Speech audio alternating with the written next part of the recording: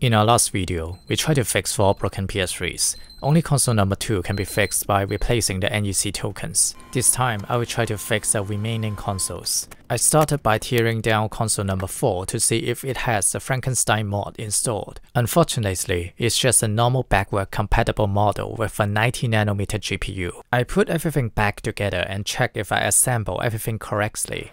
Interestingly, this console now boots into the XMB menu successfully. Although we can turn on this console now, it doesn't mean that it is fixed. Anyhow, let's see what's inside. I can see PlayStation Home, which is a very valuable game these days. I also see other popular games such as Need for Speed and Devil May Cry. If you don't know what PlayStation Home is, you should check out Nagato's channel. He managed to bring back the whole PlayStation Home service. If you still have PlayStation Home installed on your console, I highly recommend you to contribute to his projects. I'm going to extract the PlayStation Home data and send it to Nagato. In order to do that, I need to install custom firmware on this console, and it goes horribly wrong in the middle of the installation. That's why you should never try to install custom firmware when the console is not stable. I will let my friend Josh to explain what is happening here. The RSX processor is connected to the motherboard via a ball grid array, also known as BGA. When the processor heats up and expands, it introduces thermal stress to the ball grid array. Due to the fact that lead-free soldering is more fragile than the traditional one, cracks easily form over time, especially when there is continuous thermal stress. This causes a connection issue between the RSX processor and the motherboard. This is shown as 3034 in the syscon error log, which means there is communication error between the RSX and the cell processor. When you heat up the processor with a high enough temperature, you melt the solder joints which restores the connection temporarily. You might think the console has been fixed, but it's not, because the connection is not a solid one. Sooner or later, it will break again. If the problem is in the BGA, you can solve it by reballing the RSX processor. But if the problem is in the underfill, there's not much you can do. Because the solder joints under the die is protected by the underfill, there is no way to reball it. The best you could do is to swap the 90 nanometer processor with a 40 nanometer one, which has a much better underfill stability. There are already a lot of talented YouTubers out there demonstrating how to do the swap. You should definitely check them out. Now I will pass the time back to the channel owner, Amateur Hardware Repair. Thank you, Josh. Josh also has a YouTube channel. Feel free to check it out. Alright, back to my ugly voice again. To fix the Syscon error 3034, we need to deal with the RSX processor. Just like what Josh mentioned, depending on the real cause of 3034, we might want to fix it differently. Either way, we need to desolder the RSX processor from the motherboard as the first step. If you watch my previous videos, you know how bad my BGA rework skill is. I know I need more practice, and it's time to visit our sacred place, the PS3 graveyard. I picked a motherboard that is already dead and try to figure out how to remove the moisture. The phenomenon you see here is due to the moisture trapped inside the motherboard. I talked to another YouTuber who's really good at repairing PS3s. You should definitely check out his channel. He gave me some suggestions on how to remove the moisture. Basically, we need to pre-bake the motherboard for about 24 hours. If you search the term PCB pre-baking online, you can find a lot of information about it. So it is actually a common practice in electronics manufacturing. If you look for the reason why, they all mention the same thing, removing moisture. So I decided to buy a PCB pre-baker. But the cheapest one I can find is already over 200 USD, and shipping fee is not even included. I need to be creative, and this is the solution I come up with. A domestic kitchen oven. I picked the one with a high enough power output and make sure it is large enough to fit in a PS3 motherboard. But it can only run up to 60 minutes. We'll figure out a way to force it to run continuously for up to 24 hours. And of course, I bought a used one that costs me around only 22 USD. Here's the modified oven with a PS3 motherboard inside. I put tapes into the timer knob so that it will never go to zero. With this modification, the only way to turn off this oven is to turn off the main power. I know it sounds dangerous, that's why I test run it for about 4 hours to make sure everything is okay. Then I run it overnight. The next day, my workshop is still there, it still hasn't been burned down by fire.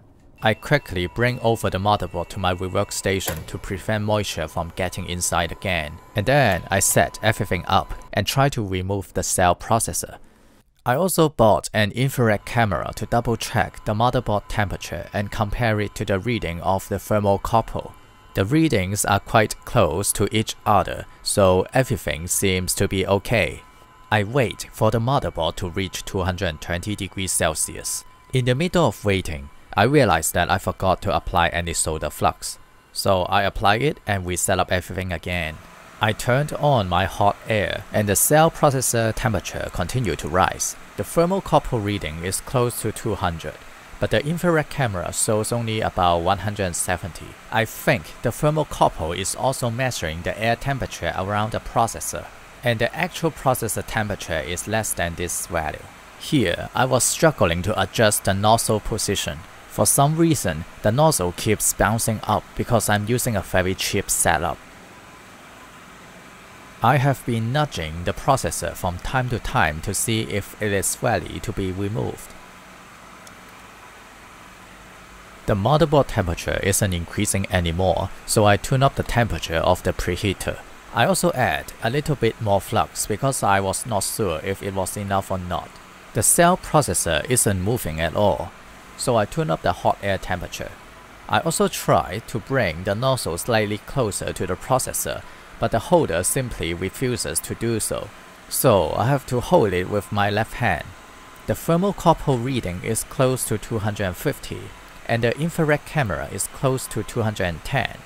The solder joints should start melting very soon. I nudge it one more time, and that's it. It's time to remove the RSX processor. Oh no, by the time I remove the nozzle and grab my tools, the solder joints has been cooling down too much. So I need to go back to the hot air heating again.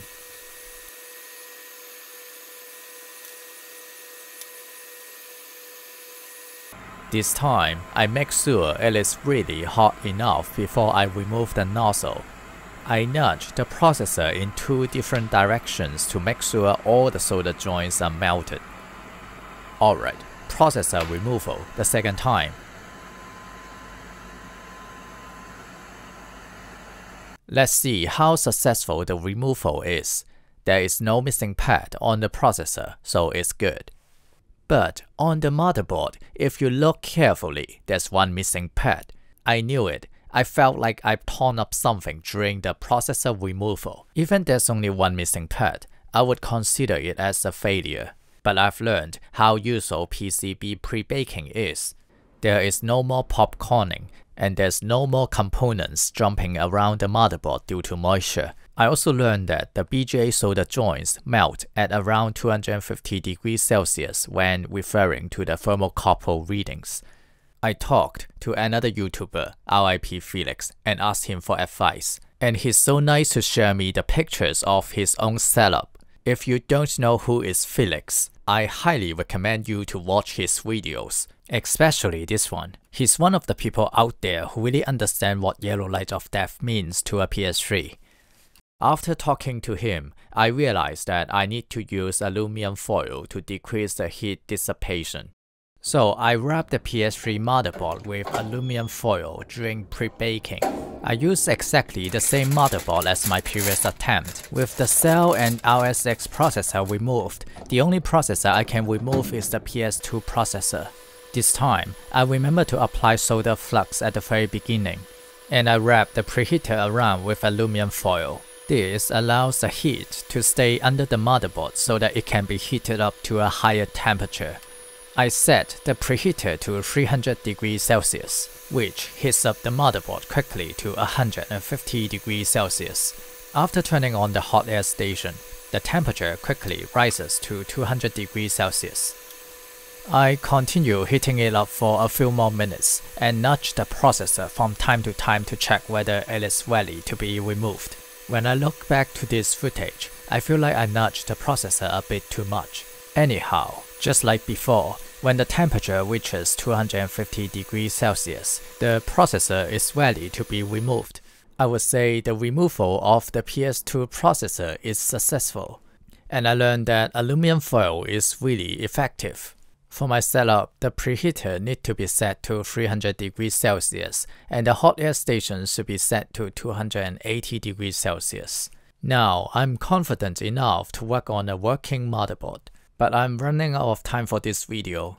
In my next video, I'm going to show how to turn this into this. Thank you for watching. See you next time.